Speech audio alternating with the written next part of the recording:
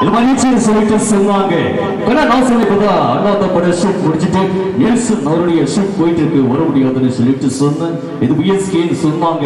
என்ன என்ன என்ன என்னன்னு கேட்டேன். என்ன பிஎஸ்கேன்னு சொன்னாங்க? டெஃபினட்டா வரேன்னு சொன்ன வந்து நின்னல இதற்கு வேற ஒரு நிமிஷம் பக்கத்து கொடுத்திருக்கு. திடீர் கரண்ட் கட்சி உன்னுடைய மனமாற்றம். என்ன சொன்னா? வசீகரம் இங்கதான் இருக்கா? தலை சுத்ததா இப்ப சுத்திருப்பார். இவரை கேட்ட உடனே சும்மா. உதறதில்ல ஜோரா கையை தட்டுங்க மக்கள்.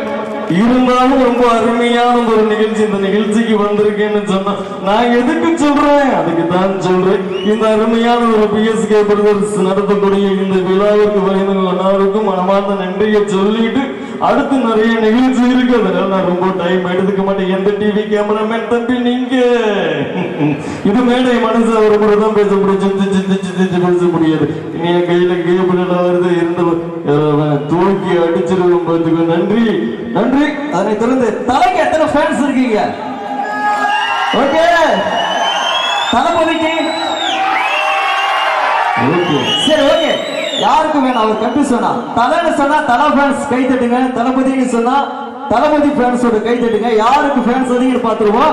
இதோ தளபதி! தலை! ஓகே இப்போ நம்மளுக்கு அப்படியே ஈக்குவலா தான் இருக்கு. ஓகேவா முதலாவதாக நம்மளுடைய விழாவை வாழ்த்தி பேசுவதற்காக இளைய தளபதி விஜய் அவர்கள் கூப்பிடுவோம். இதோ அண்ணா வாங்க விஜய் தளபதி அண்ணா.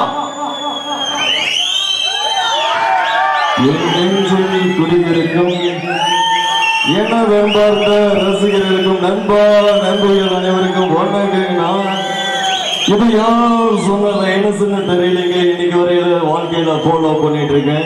குசு பேத்துறவங்கிட்ட ஊமனு கடி கிட்ட கம்முன்னு இருந்தா வாழ்க்கை ஜம்மன் இருக்குன்னு சொன்னாங்க.